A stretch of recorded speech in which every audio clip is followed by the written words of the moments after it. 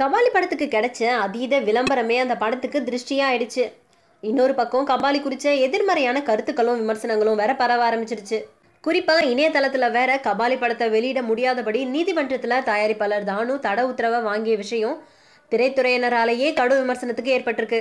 மற்ற தயாரிப்பாளர்களுடைய படத்தை பற்றி கவலைப்படாத தானு தன்னுடைய படத்தை மட்டும் காப்பாற்ற எப்படிலாம் மெனக்கெடுறாரு பாருங்க அப்படின்னு அர்ச்சிக்க ஆரம்பிச்சாங்க. இன்னொரு சிலர் எத்தனை நீதிமன்றத்தில் போய் தட உத்தரவு கேட்டாலும் இணையதளங்களில் சட்டவிரோதமாக படங்களை டவுன்லோட் செய்கிறத தடுக்கவே முடியாது அப்படின்னும் கருத்து சொல்லியிருக்காங்க. இந்த நிலையில கபாலி படம் நேத்து உலகம் முழுக்க வெளியாயிருந்தது.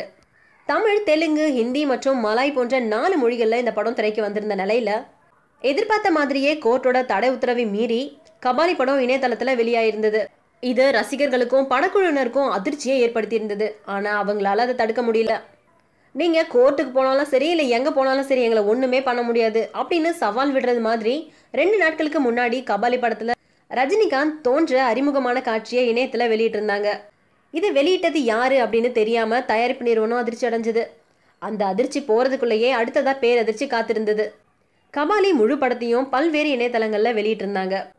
தமிழகத்தில் பல தேட்டர்களில் கபாலி படம் காலை பதினோரு மணிக்கு திரையிடப்படுறதா இருந்தது.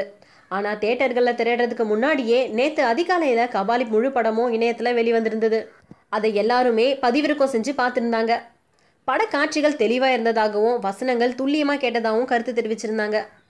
தேட்டரில் ரசிகர்களுக்கு டிக்கெட் கிடைக்காத மாதிரி செஞ்சுட்டு கார்ப்பரேட் கம்பெனிகள் கிட்ட மொத்தமாக டிக்கெட்டை வித்துட்டாங்க. அதனால கபாலி படத்தை தேட்டரில் பார்க்க முடியாம அதிர்ச்சி அடைஞ்சிருந்த ரசிகர்கள் எல்லாருமே கபாலி படத்தை இணையத்தில் இலவசமாக கிடைக்கிறத கேள்விப்பட்டு கபாலி படத்தை சுட சுட பதிவிறக்கம் செஞ்சு பார்த்துருக்காங்க. ஒரு பக்கம் ரசிகர்கள் தேட்டருக்கு வரதில்லை அப்படின்னு திரையுலகினர் புலம்பிட்டு இருக்காங்க இன்னொரு பக்கம் கபாலி படத்தை பார்க்க தேட்டருக்கு வந்த ரசிகர்களுக்கோ டிக்கெட்டே கிடைக்கல. அதனால இணையதளத்துல இருந்து டவுன்லோட் செஞ்சு கபாலி படத்தை பார்த்துட்டாங்க. ரசிகர்களை தப்பு செய்ய தூண்டியது யாரு? அப்படின்ற கேள்வியும் எழும்புது. மேலும் சினிமா செய்திகளை தொடர்பு கொள்ள லைக் மற்றும் சப்ஸ்கிரைப் செய்யவும்.